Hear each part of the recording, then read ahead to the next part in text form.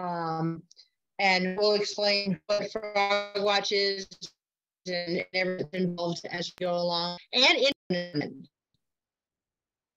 um, steady decline in amphibians.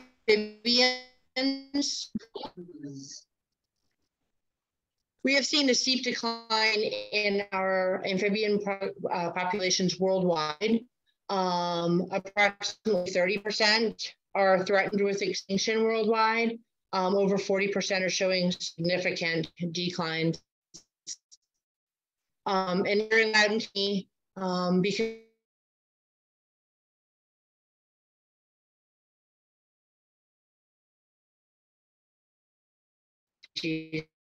history. Um, responsible for over 90, 90 species being declared into the wild, and this is worldwide. Um, it is waterborne and likely spread by direct contact. So our different habitat our frogs and toads will live in. Um, one is our swamp or woodland swamp. Our swamps are areas where the land permanently saturated or filled with water. Just because it says it doesn't necessarily mean you have a lot of visible water. In the drier time, you may not have water overfill in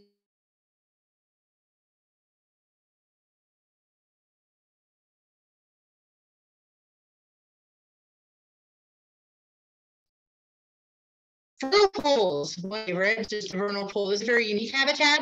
Um, vernal pools, when I, in its most simplest form, is a gigantic So you're going to have this area that has no permanent inlet or edge, and it's filling is of rain we've been having, any snow, as that melts, all of that is going to run off and, and fill these vernal pools.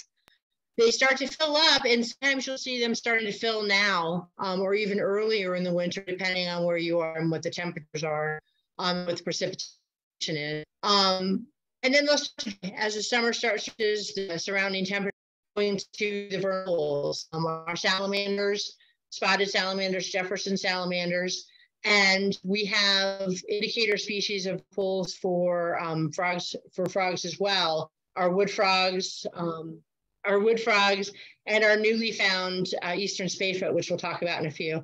Um, they actually are very cold tolerant and will move around and move over ice, over snow, if those vernal pools and conditions are right um, to go for, for breeding. Wet meadows, they often look like your typical meadow of fields, but they are a type of marsh and they do have a very, very saturated soil. And oftentimes, um, if you have any high rain, those are going to be those meadows where if you walk in them, they're going to have water on top of the, the soil and that soil will remain saturated throughout the year.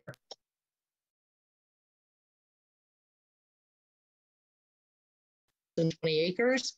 They do not dry up in the summer. Almost always can fish and very little emergent vegetation um, in, the, in the middle ponds. Hopefully there's vegetation on the sides of the ponds as well. So those are our main ones. We're going to have, and, and you can actually look at some of your other wet areas, lakes, monitoring, monitoring these calls.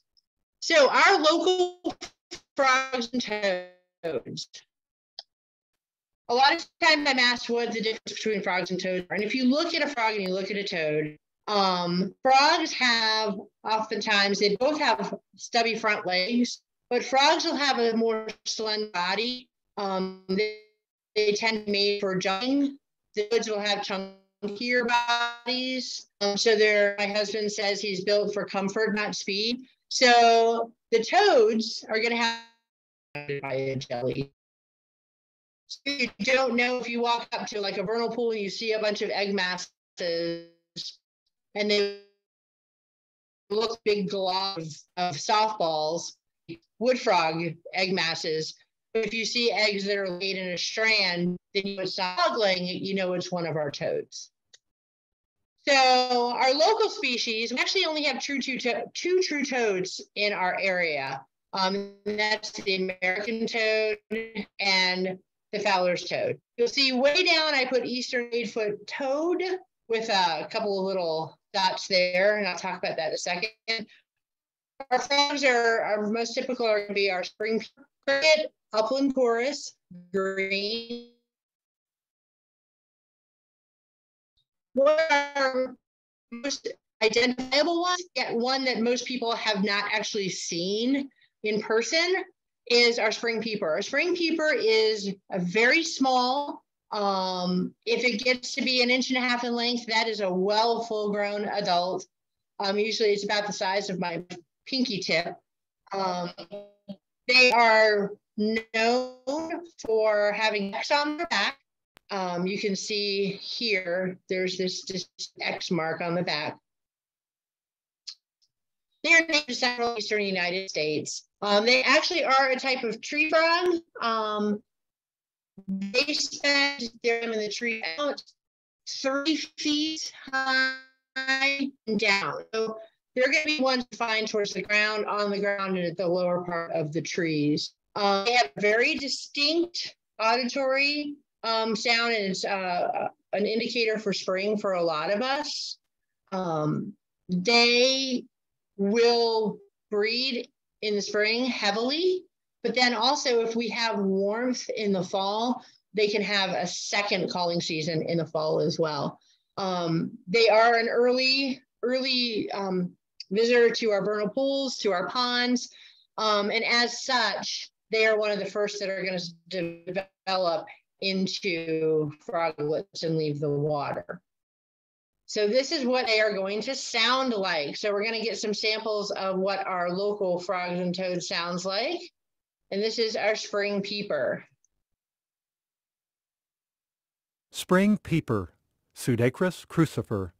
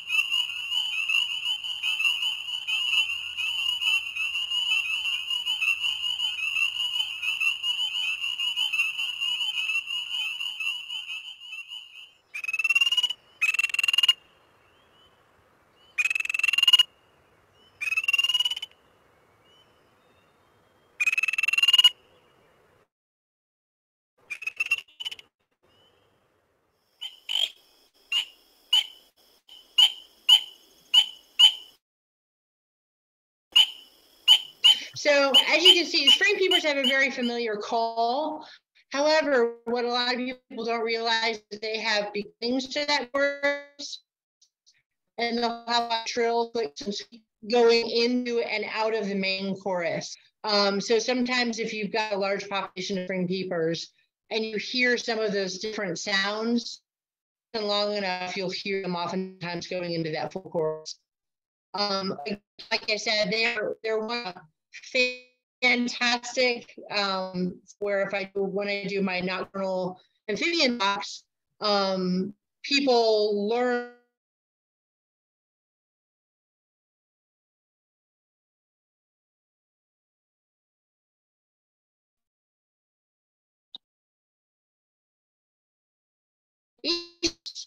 here. You got green. Sometimes the band is a little thicker here and the Y is not as formed as you see here, but they're always going to have this green mossy colored look going down the back.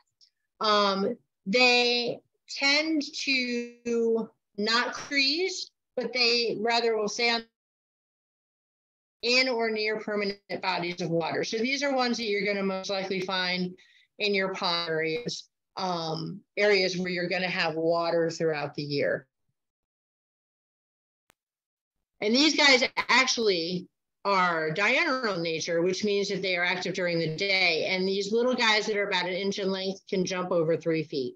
So a lot of these small little frogs will surprise you at how far they can jump in those back hind legs. You can see those really long legs um, equip them to be able to jump. So this is our cricket frog, and you'll be able to tell.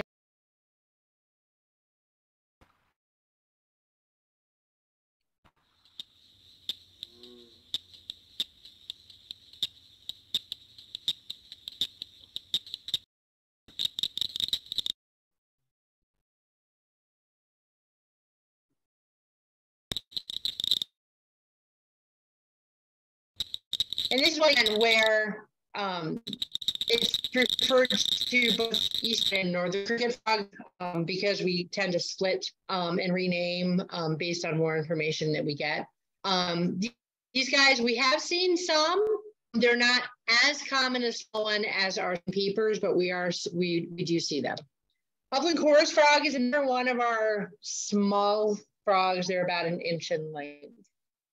Um, they're going to have color to gray to reddish brown, and they have stripes that go along the sides of the body on each side. You can see that darker stripe, and it's going to be on the other side as well.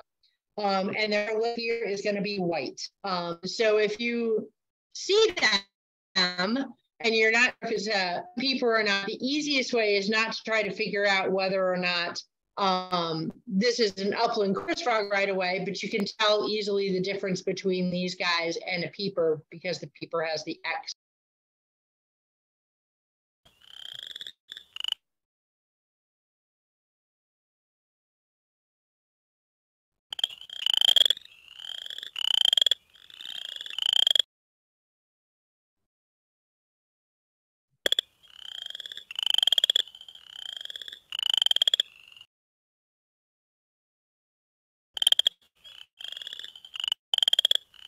And these guys also can get quite the chorus going, hence the reason that they are called frog. They are a variety of, of our chorus frogs. Green frogs. Green frogs are one of the more opportunistic frog species they have here. If you put a pond in your backyard, if you um, if it's a male or female, this tympanum right here, this ear cover, um, if it is going to be approximately twice the diameter of their eye. It's a female, that tympan will be the same size as the eye. So you can see on the side here that this is obviously much larger than the eye. So this is actually a male adult um, green frog. These guys can be huge range colors. Um, we call them green frogs, but a lot of string or a, a rubber band that you're plugging that's tight.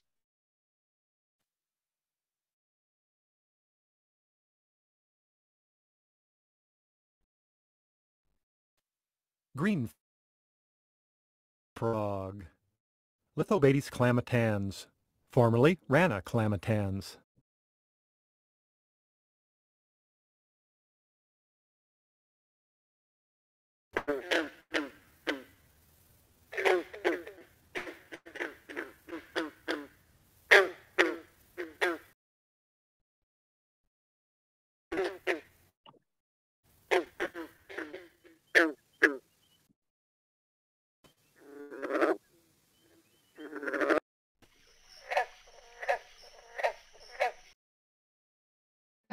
Distinctive call in general, but there's a lot of other um, small vocalizations that I'll make.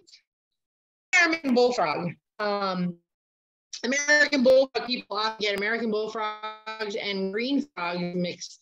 Um, American bullfrogs. This is a female. You can see that tympanum right there is the same diameter as the eye, um, whereas this guy is much larger. Again, green and bullfrogs both have that characteristic. Um, bullfrogs are our largest frog in North America. They can grow over eight inches in length. Um, they are found in freshwater lakes, ponds, marshes, marshes, the they area. People think that American bullfrogs, because they hear about them being invasive, um, are not native to this area. They actually are native to the eastern United States. They are introduced in the western United States. And there are several areas in the western United States where they have become um, quite an invasive um, species and has been have been wreaking havoc on a lot of the populations um, because they are, very gregarious eating. Fish mouth is quite large. They will eat it from fish to lizard snakes to other frogs to birds um, to rodents. So if it fits, they will they will they will eat it. Um, females again are and here is our American bullfrog.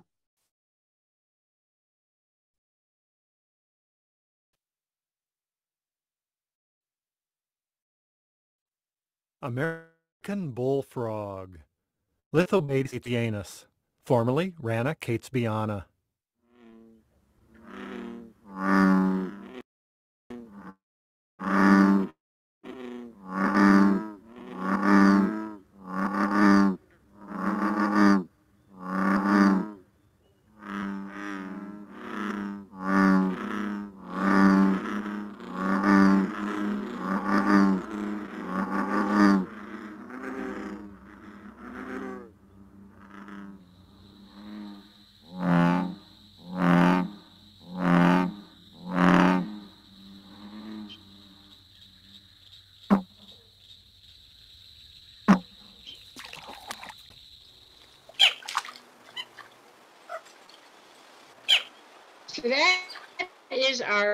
Big American bullfrog.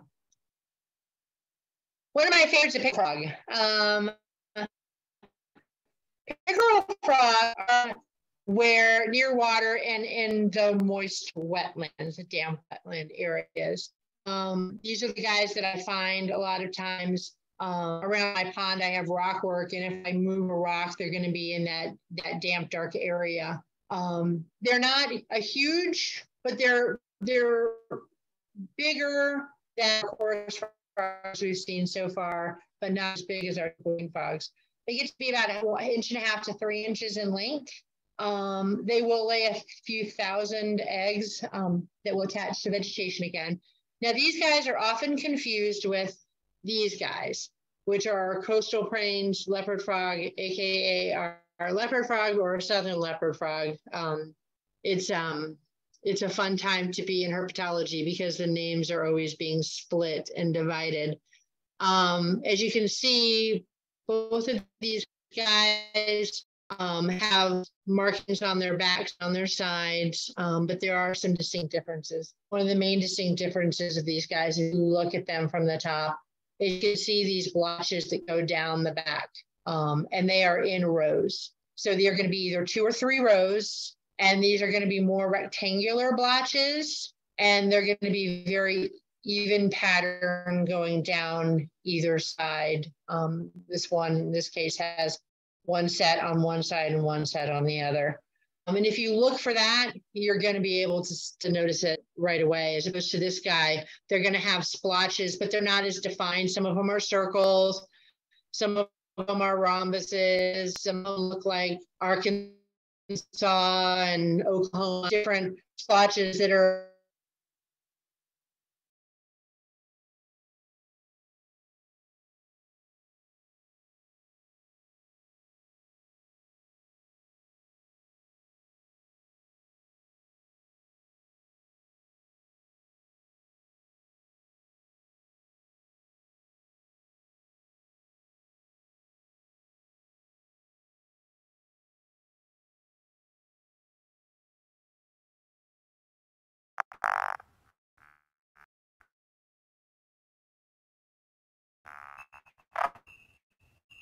So they're kind of like the golden men of the uh, of the frogs. Um, they just sound creaky, um, and that's our pickerel, pickerel frogs. So this is our coastal plains leopard frog. Um, they are just a little bit bigger oftentimes than our pickerel frogs, about two to three and a half inches in length. Um, they are brown green in color. FrogWatch, you're going to be doing things at night. So you, you're not going to see sometimes as much as you hear, um, depending on the situation. Some of these are, are a lot shorter. Uh, pickerel frogs and leopard frogs notorious shy. If they hear a lot of disruption, they will stop calling. Um, so it can be hard to see them. Um, these guys live in areas with slower moving water They have a lot of vegetation. Um, they can inhabit open meadows that are further away from the water source during the summer. Um, they can lay up to about 5,000 eggs in those warmer, shallow waters. These guys uh, do hibernate in the And this is one that will often confuse people the most because, as you can see, they have quite the cornucopia of different sounds, calls that they will make. Wood frogs, these are one of our first ones that we see um, out in the um, sometimes the midwinter, late winter, early spring. Um, they are probably the most gregarious birds. Um, they will be calling the day, they will be calling at night. They has this map goes from the tip of their nose past their eye and down to the terminus of their cheek on both sides. So you can see it's even on this one. And when they are darker, it is harder to detect that. Um, but that mask is always there um, on any of our wood frogs. So these guys um, are one of our um, vernal pool indicator species, um, meaning that they do rely on those temporary pools that have no fish for their breeding. Um, they will take shelter in the leaf litter during the winter um, as well. These are the only species of frog that lives um, north in the Arctic Circle, and they actually produce a special biological antifreeze that allows them to actually freeze solid um, if the conditions are freezing outside, and then they will actually be able to, um, and, and that antifreeze will decrease the amount of ice crystals that are forming in the in the blood, and it will allow them to actually freeze solid and thaw back out once the temperatures become um, more conducive for activity. Um, these guys lay these giant masses um, that look like softballs, and they're each individual eggs that look like about marble size that are all um, stuck together, and it forms this one large ball um, that's about the size of a softball. And they will lay eggs in these communities, and you can have hundreds of these masses at any given area. So this is our um, wood frog. Wood frog. Lithobates sylvaticus, formerly Rana sylvatica.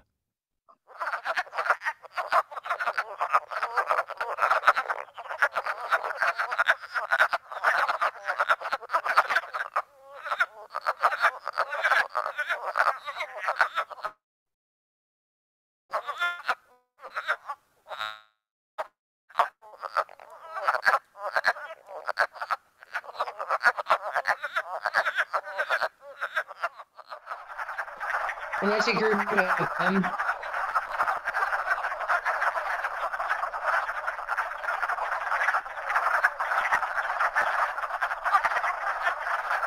it's obviously a, a lower pitch call than something like a, a spring peeper, but um, if you're walking along in the woods and you are around any kind of vernal pools, any kind of um, seasonal seasonal type of wetland, um, they are very loud um, when they are when they are breeding in, in greater numbers. So we have two. We have several other tree frogs. Like I said, there's spring peeper and a couple of other frogs, but two that are labeled a tree frog. One is the gray tree frog, and the other is the Cope's gray tree frog. As you can see, they look identical. Um, and they are. Um, visually, they are identical. Um, it's genetically that you can tell differences, and their calls that you can tell differences. Um,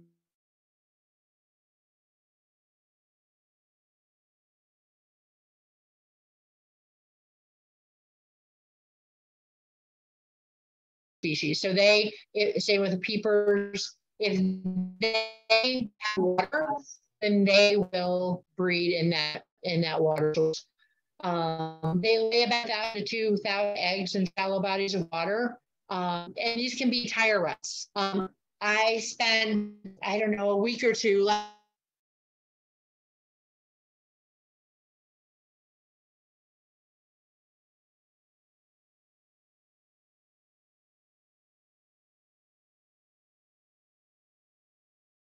uh, they will find it. And um, they are very, very loud. If anyone has a pond near their house, um, they're full in, inbreed guys can be quite, quite a loud um, chorus as well. So here is our gray tree frog. They have a longer call. Um, you'll see the difference in the copes um, just a second here.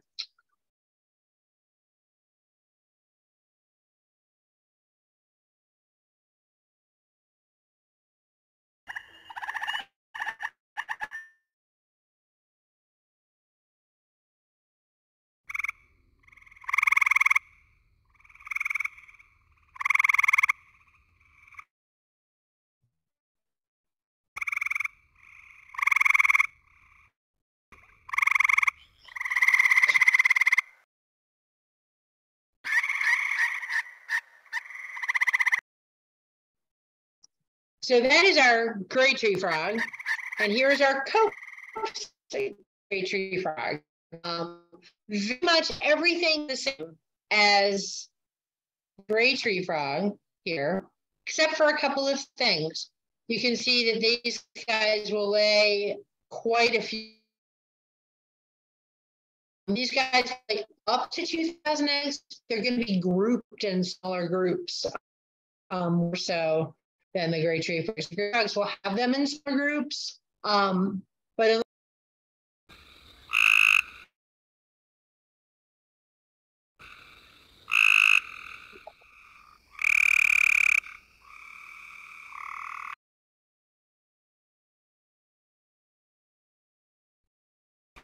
So you can see there is a very distinctive um, difference between those two calls, and that's how you're going to be able to differentiate between the gray tree frog and the Cope's gray tree frog. And a lot of times, um, our copes in this area tend to be more east. Like in Fairfax County, I know that they see more Cope's gray tree frogs than gray tree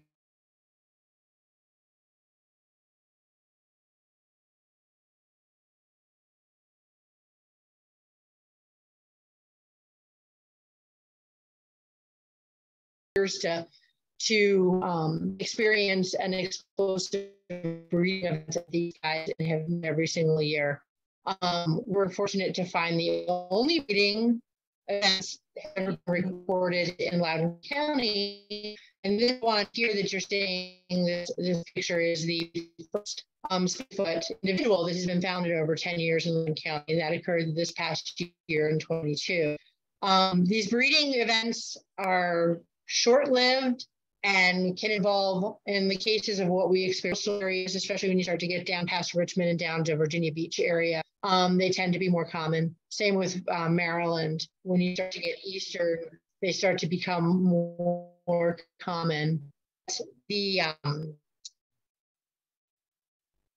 these here defied everything that people knew. I presented at a conference about these guys, and the two takeaways that people were really surprised at were the substrate in which they're living, which is not in any way sandy. It's actually um, in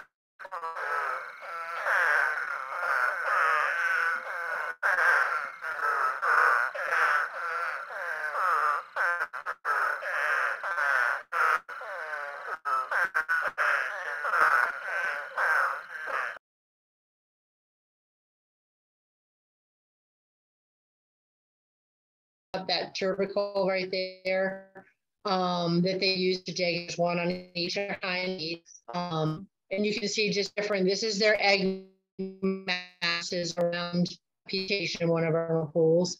This is them hatching, and actually, when they hatch, they will rest on vegetation. Um, and all of them had this characteristic of resting. Um, and everything again was also dependent upon temperature. Um, in warmer temperatures cause faster development. Um, and um, but they would rest for sometimes hours um, prior to actually getting up and moving around. So you can see these guys resting on the vegetation. Um, they do have a very um, trans transparent um, underside. So you can see intestine, you can see lung development, heart, that's their mouth. Um, so that's a characteristic of these guys. And that's one that had just left the water and right before. So you can see we were able to capture um, quite a bit of uh, information um, about these guys that were actually still compiling all of the information.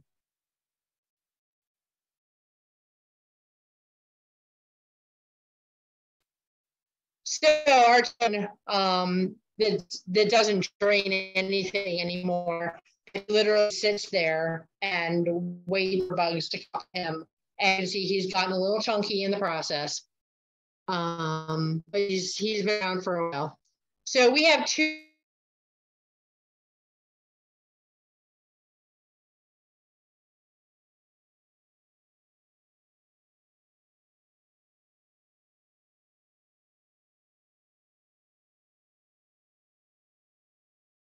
run out of breath how long they're go.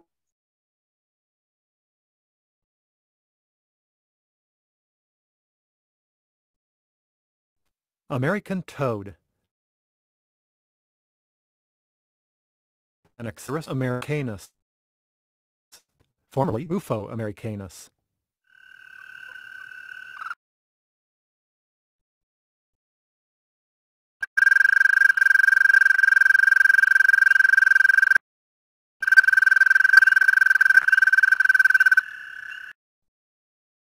These guys live in woodlands and meadows.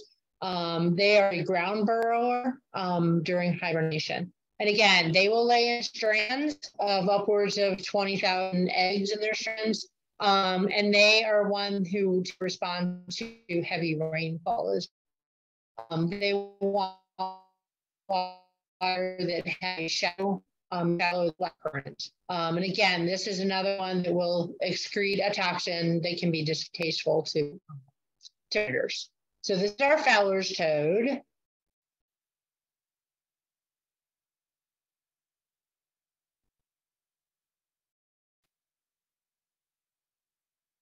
Fowler's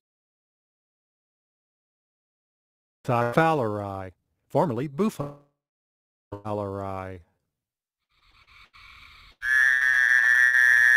Later than usual. Um, so our frogs make an appearance um, at our vernals because there was no water. Um, and one bad season, two bad seasons, a couple of bad seasons aren't hurt the population. Um, most of the time, they'll just reabsorb those eggs, go back to what they're doing, um, and wait for the next year. When you start to get maybe three or four or five seasons, you're really starting to make a potential impact because because of the um, the breeding age range for these guys as well. Um, so you can see uh, these um, coastal frogs, um, chorus frogs, pickerels um, can start early. Um, and again, it depends conditions. A lot of our frogs, except for peepers and wood frogs, tend to like to just a little bit warmer. So we've got a warm spell in these early months, you're going to see more frogs that are going to be coming out. And potentially you can be taking advantage of protocols for monitoring. And this um, I actually found this guy on the way to check for vernal pools last year. He's in a he's in a bog that's close to my my house that I monitor um, for FrogWatch as well. Um, so FrogWatch, the amphibian history. So um, here I just people in some amphibian surveys um, where you go. Um, we had a, a, kind of a hiatus here at Loudoun Wildlife for maybe good six to eight years. Um, this program originally survey, um, and it was um, a monitoring program with Watch at the time. Um, and all of information, all of that data um, is still with the frog monitoring that has been going on since 1998. Um, now consistent of sites, and so you would drive to those different sites um, once a week um, or once every two weeks, depending on particular protocol, um, to see what those those particular um, areas were doing as far as as um, frog and uh, and toad calls. Um, that actually became quite cumbersome, um, and it actually made it so it was hard for people to have consistent um, participation. It was actually very, very different. Um, the FrogWatch program does this as a site-specific um, program. So if you have a backyard pond, you can register your backyard pond. Um, if you have, we have several people who do um, their HOA.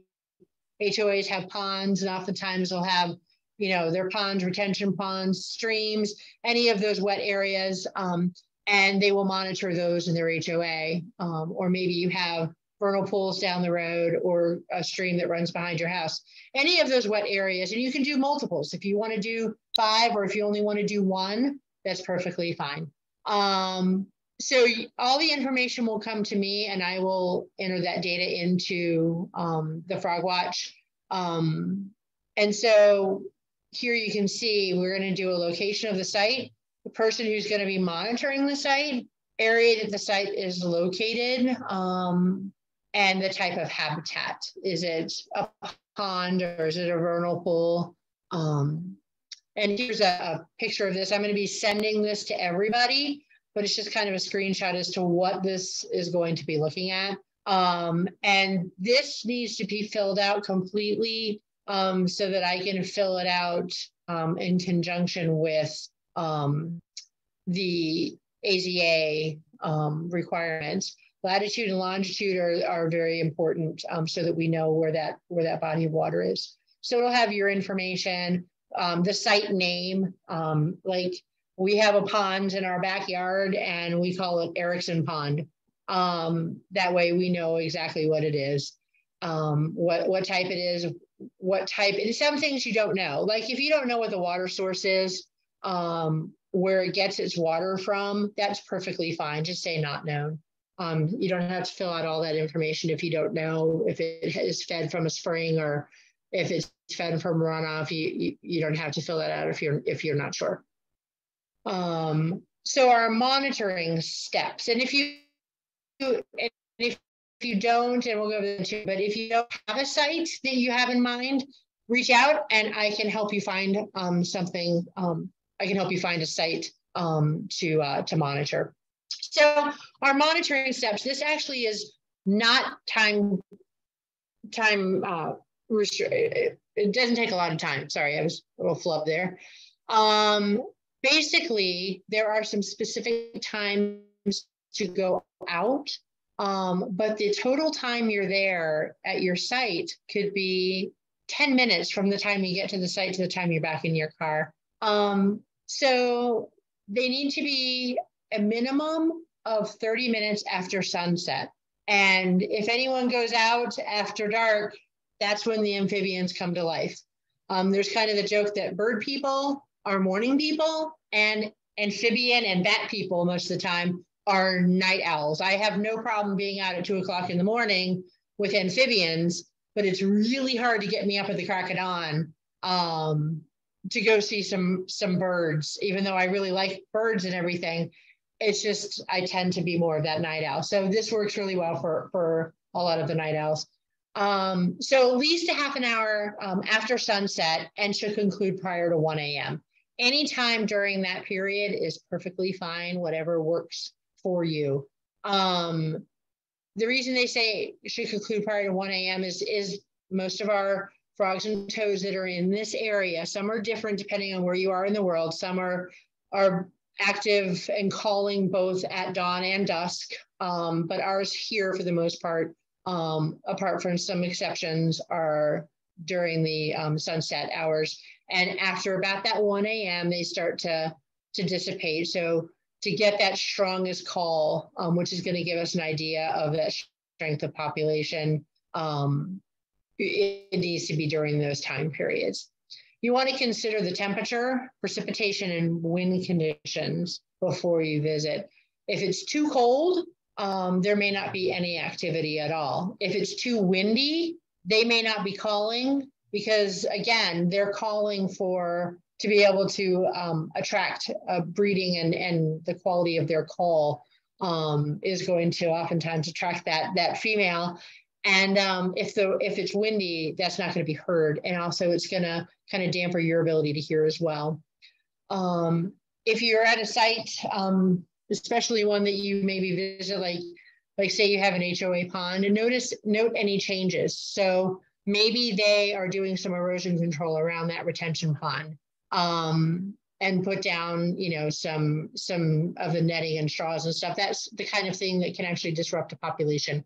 So if you see any any kind of changes, just put those down and note that. We've actually sadly had some of them, and they're very active amphibian habitat that um, they're monitoring. Uh, we've had this happen several times um, was bulldozed for housing development. Um, so we made sure that we made notes of that as well in the data that we're sending, um, that I send off to the, um, the national um, database so that they know that some of these sites are in fact actually being lost. Um, and we wouldn't really have as much information about the impact of that if we weren't monitoring these sites. Um, record all your weather information, including the temperature, wind speed, um, current precipitation and the weather history. Um, did it, has it rained in the past 24 hours? Um, is it currently raining?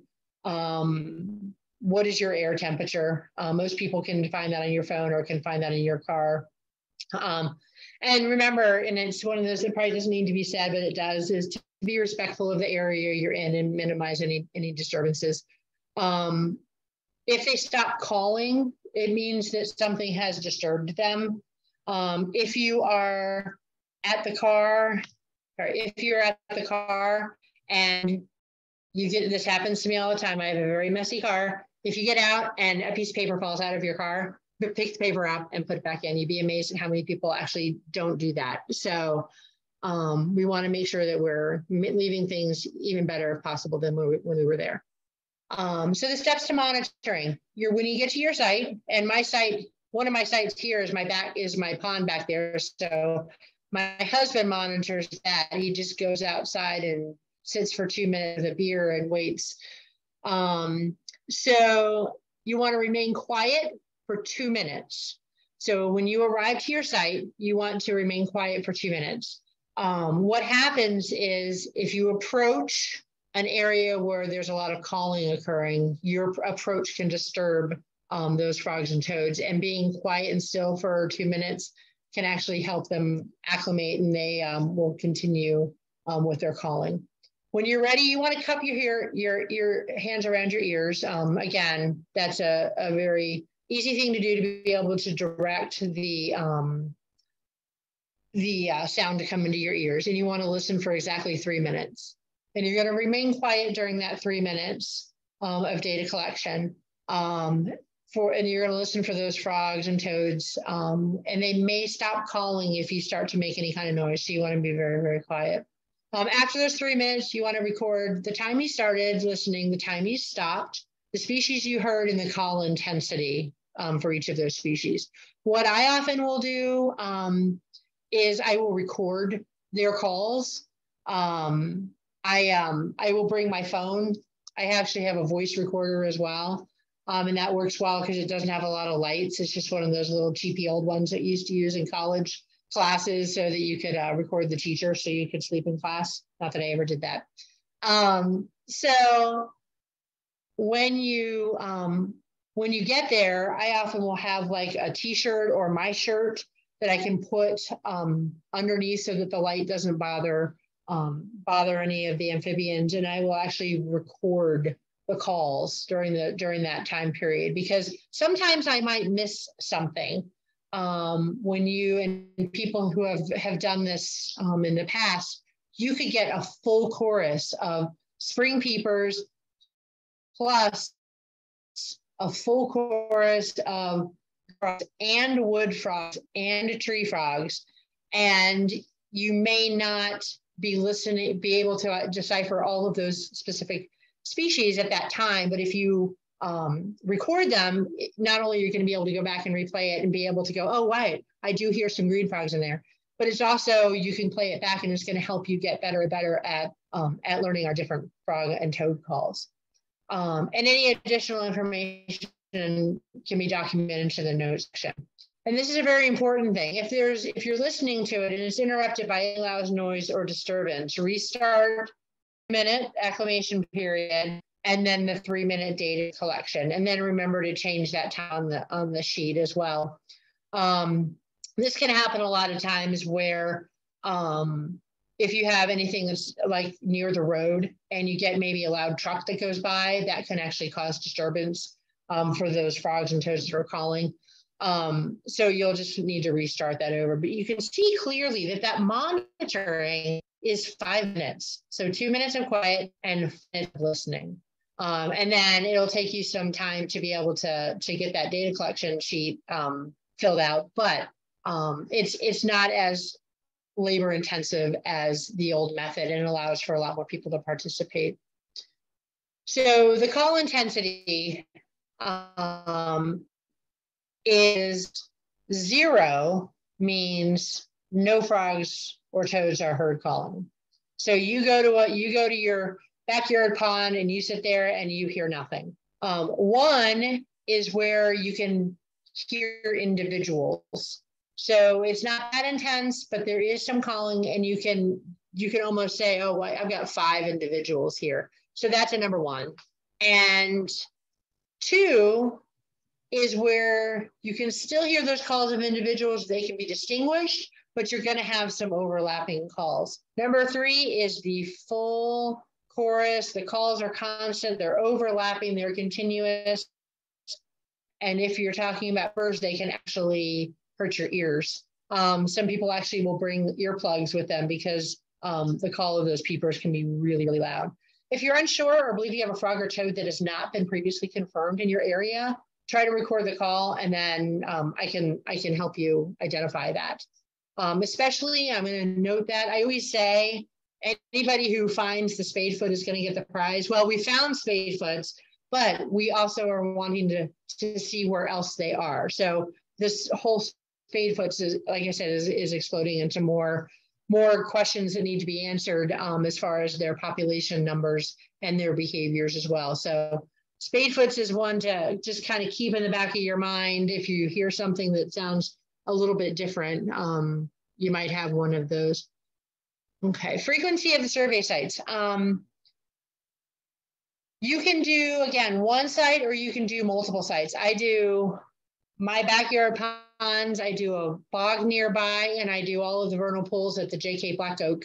Um, so you can do multiple um, survey sites um, depending on your availability. And that's the beauty of this is that um, if you have a backyard pond and you've got 10 minutes every two weeks and you say, hey, I can monitor this, that's fantastic because that's a population that is unknown to us. And knowing um, that you have that kind of activity in a backyard pond um, gives us information about their population. Um, and remember that that consistent data will help with this long-term tracking of the populations. Um, it's recommended that you go at a minimum of every two weeks. Um, some people will go once a week. Two weeks is I, perfectly fine as well, because again, we're looking at those calls and a lot of times you get overlapping of one call that they're starting to, to fade out where another species is starting to pick up. Um, that way you have less of a chance of missing any of those calls.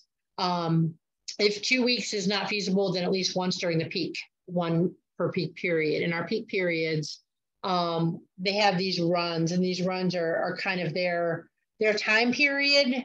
Um, but these are very, very different depending on where you are. Um, like this one here, June 15th through July 15th, we go further um, just because of our weather and precipitation. We tend to go further and sometimes even into September. Um, but the February 15th to March 15th, they call that run one. Um, and so if you can get one during this period of time, then at least we've got that information. But if you can go every two weeks, that's fantastic. Every week, that's fine. I won't complain about having to put in more data. It's it's perfectly okay. Um, and there's this is an important one is there's no minimum temperature set. So some species will um, will only come out and breed if there's a certain minimum temperature temperatures above a certain degrees. Um, but our early spring, late late winters, um, like our spring peepers, our wood frogs, those guys will come out when it is 30 degrees outside.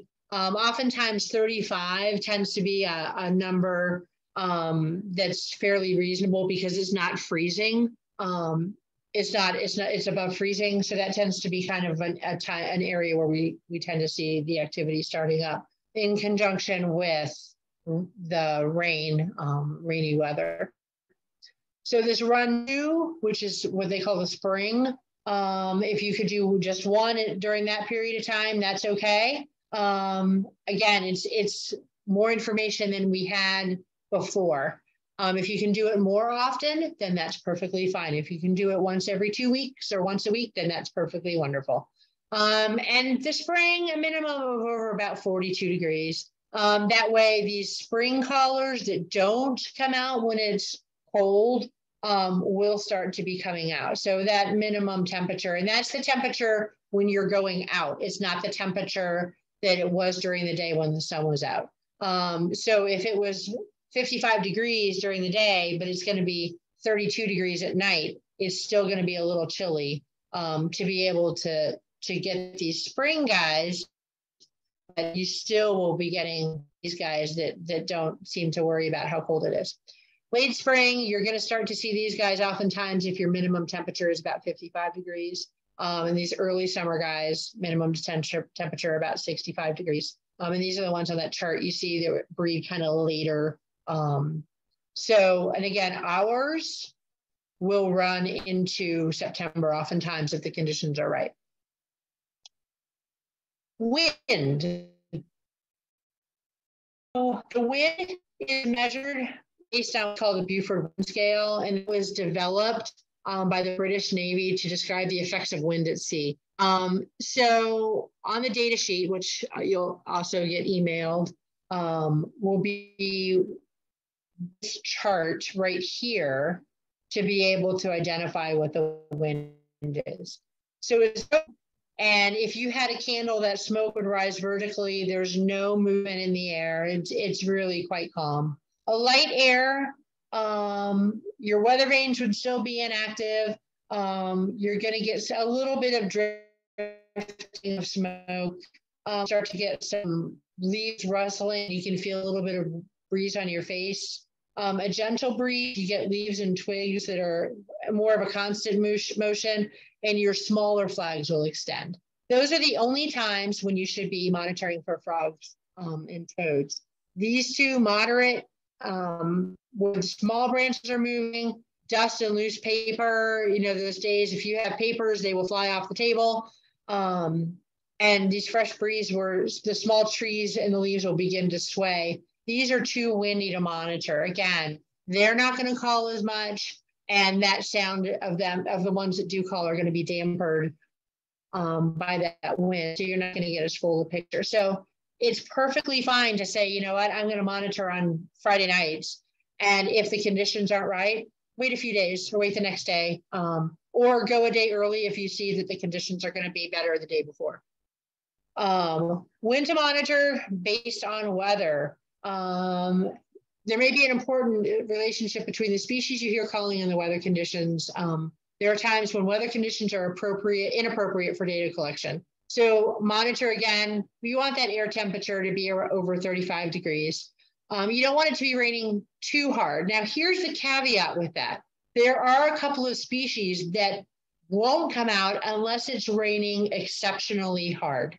Um, and that is the Fowler's toad likes heavier rain. They tend to be a later in the season breeder, mid to late season. And the spadefoots. If we did not go out, we actually we have a herpetology um, team that goes out and we do surveys um, in different in a couple of different areas. Um, but if we weren't out doing that in the rain, I mean, is what we would not have found um, those first um, spadefoots because it was a heavy rain event that started to bring them out. Um, so if you say, you know what, I think that this temporary pool in the middle of April to the beginning of May might be a good location for spadefoots, then, you know, wait till it's maybe above 40, 45 degrees and then go out when it's raining at a heavier, steadier rain. That's going to be when you're potentially going to be able to hear the spadefoots. If you hear what you think are spade spadefoots, please record them. Please record and send me that so that we can um, verify it. Um, and so I can add that to a potential site where we're finding these spadefoots. Um, and you don't want the wind to be stronger than a general breeze, which is a three on that um, Beaufort wind scale. Um, what to bring to the survey site? There is nothing worse than getting to a survey site and realize you have not brought anything. Um, your data collection sheets, um, and you can do that in a variety of different ways. You know, you can write down notes, you can write it right on the sheets. Um, pencils or pens, because something to write with is always handy. Um, a clipboard or something else hard to write on, because remember, these guys like it's damp. So writing on damp paper is never easy or fun. So having your surface often I will would put paper in there so it doesn't get wet. Flashlight or headlamp. Um, I have both. Um, I have, and it's one of my favorites. It's a Dremel flashlight. It's rechargeable. I got it at Home Depot, and I really like that flashlight for um, different spot light stuff. Um, if I need to look at something and not want to blind anybody, or if I need to look a little bit further out than the headlamp goes. Um, otherwise, I just have headlamps that are rechargeable um, that do a, a white light, um, a green light, and a red light. Um, and I like to have those those different options as well. Um, a watch or timer. most people have that on their phone so that you can time when you're going to be out there. Um, ability to know your out, outdoor temperature. Um, so if you have it on your phone or if you have it on your car, um, it doesn't have to be exact. Um, so sometimes those the ones on the cars can fluctuate a couple of degrees, but if it's in that range that we talked about, then then that's going to be perfectly fine. A cell phone. Um, you're going to be out at night, um, so you want to have a cell phone. You want to have a way to be able to to talk to somebody and let them know. Um, rain gear, reflective gear, um, reflective if you're going to be near the road.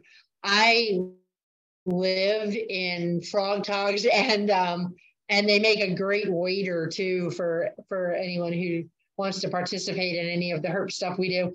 Um, but I live in those Frogg Toggs because you can just fold them up and put them in your car. Um, and the ability to record, the ability to record is is such a wonderful thing. Um, I actually go back and listen to the recordings of things that I did last year um, as well, just as a reference. Um, so it's nice to be able to have those recordings. And this is what your data sheet is going to look like. Again, I will send this out to everybody, um, but it's, um, oh, it's the survey site registration again. I don't know why I did that. Um, the data sheet is going to have, is going to look very much like this. I'm not sure why I did this twice. Um, I love Microsoft PowerPoint, or maybe I just don't, it doesn't love me enough. So it's going to look like this, but it's going to have the site information. It's going to have the wind. It's going to have um, the precipitation, the history, what the temperature was the past 24 hours, if it was above freezing, if there was any precipitation the past 24 hours um, prior to you being there, because that will make a difference. If it has been dry as anything, um, a lot of times your activity can be different than if you've had three or four days of rain in a row. Um, what your wind is like, and then the species that you hear, um, and you write in those species on the sheet, and you just check you know, zero to zero to four, um, zero to three, whether or not it's a no calls or a full chorus. Um, this is something that you will experience. Um, you're going to be um, monitoring any site, even if you're monitoring a site in your neighborhood. Um, amphibians on the roads. The roads we make, the they transect both amphibian and reptile habitat. Um,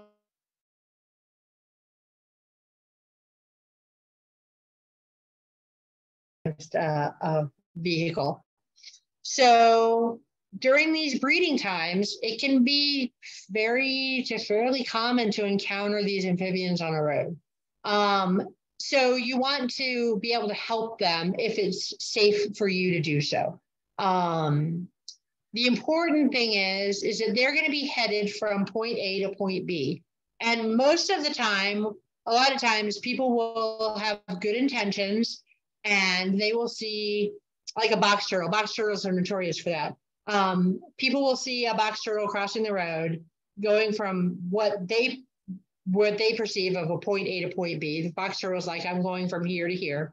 And the person picking it up will see that it's only made it a third of the way across the road and will put it back on the road side of the road that it just came from.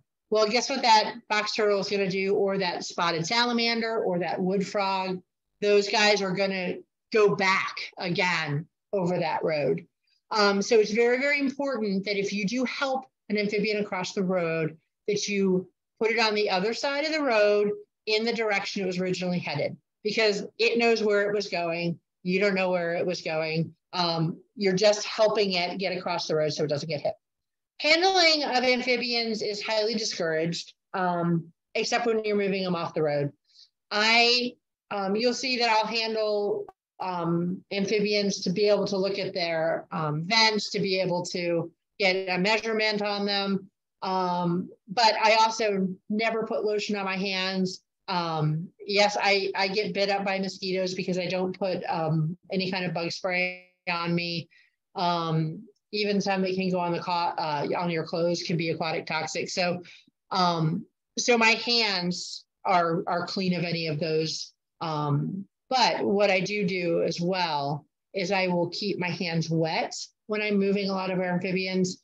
Um, I will use um, you can use a puddle water if there's a puddle right there. You can use your bottle of water um, just to get a little dampness on your hands. Um, and then you want to just scoop them up gently with your hands cupped so that you don't um, injure the amphibian and just move them across um, across the road and and drop them off on the other side of the road. Not edge, usually probably about a foot to two feet in is good, um, but you want to make sure that they're headed in the same direction. Safety precautions. Um, Safety is important. Safety is most important. If you feel uncomfortable by surroundings, stop monitoring and leave the site and let me know. Um, some of the precautions can include having a first aid kit. Um, my first aid kit consists of some band-aids, a bottle of water, and maybe an old t-shirt. Um, but at least has something that if I need to um, find my car, um, I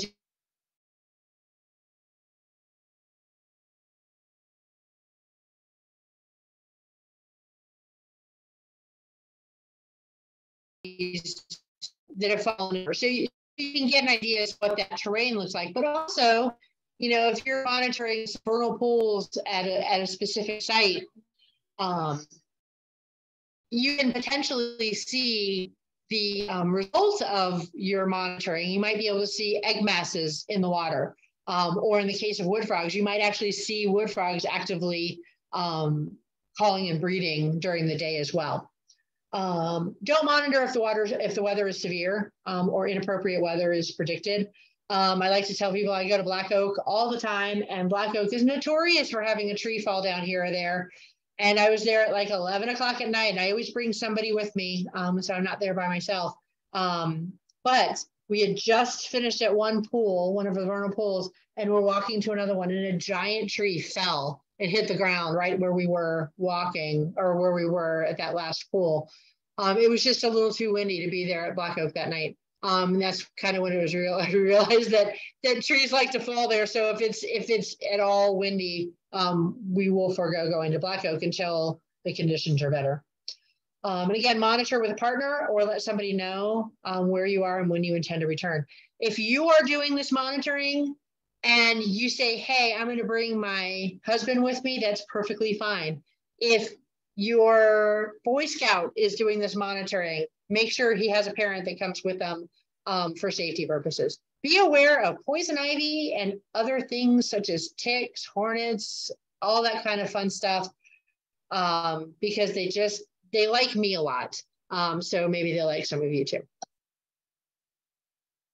Um, locating appropriate habitats for frogs and monitoring. Um, the survey site, site be wetland area, it doesn't matter what the size is. Again, I have three small artificial ponds in my backyard and they have a ton of activity throughout the, the frog breeding season. You wanna make sure that it's easy and accessible um, and safe. And so you don't wanna have to be jumping over fences um, to be able to get to, to the site. A lot of people will ask, you know, how close do you need to be to that site? Um, and that depends on the site. Um, you'd be amazed at how much trees and terrain will block the sounds. Um, so if I have, if I'm monitoring six active vernal pools at JK Black Oak, that's because the terrain is such that I have six very different um, pools that have that you could hear and can't hear depending on where you are on the property. Um, if the survey site's not on your property, make sure you get permission um, from the landowner. Um, and sometimes our, our parks are actually open to, um, to having some monitoring, but we just need to get permission um, to make sure that because it would be after hours at night. Um, so we'd have to get permission from them. So if there's any kind of park near you that you wanted to be able to do that, that somebody else may not already be monitoring, um, I can help you set that up. Um, and again, if you don't have a specific location, we can help you locate an appropriate site based on your needs, like location. You might not want to drive 45 minutes to, to do a five minute survey. Um, important, important, important. Record your hours with Loudoun Wildlife. Um, it's important to record, remember to record the, the hours with Loudoun Wildlife Conservancy. And yes, you can still record your time for hours if you're a Virginia Master Naturalist and you need those hours. You can record them for both. Um, and I've made sure that you can record them for both. Um, the, the scouts as well, I know that I had several scout groups reach out to me and they need to have fulfill hours. Um, but also we need to remember to um, log those hours with Loudoun Wildlife Conservancy. And when you do that, you want to go to loudounwildlife.org and select volunteer hours in the drop-down menu under the volunteer heading, and you're going to be prompted to record your hours. You're going to select amphibian monitoring program under the activities and um, then fill in the information accordingly. So here you can see, I've got a screenshot. This is the main homepage. Um, volunteer. I've, I've kind of hovered a volunteer um, tab and this drop down menu, you'll see volunteer hours here. And then when you click on it, it'll bring you to the screen. So you're going to do, and you can record up to three events at a time. Um, so you can do, it'll ask you if like, if you did a month's worth and you want to do, um, do each of those at, at um, one time, you can do that. Um, just make sure that you're, it'll ask you at the bottom if you, if you want to um, do another, um, record another event. Um, but you can see here under activity and amphibian monitoring program. That way it goes to the right, right program.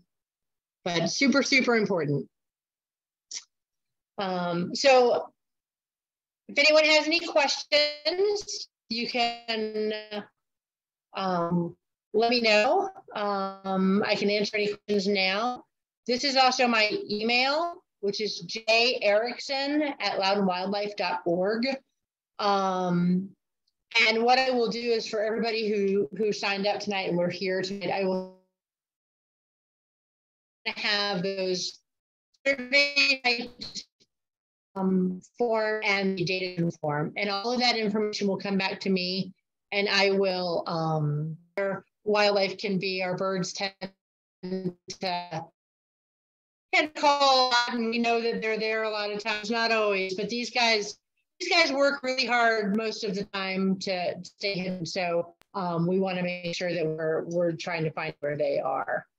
Um, thank you, thank you, Don. Um, hopefully somebody raises their hand. Yes. Hi. Sorry. Hi. Um, I was wondering if you were, would be able to email the slides. Um, yes, I actually can. Okay, Um, that would be amazing. I can do that. Also, we are, I know we're doing a recording of this as Okay, well. okay.